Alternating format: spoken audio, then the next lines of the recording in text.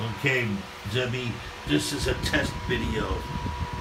Tell me if I did it right. And I'm adding the logo. This is a test video only.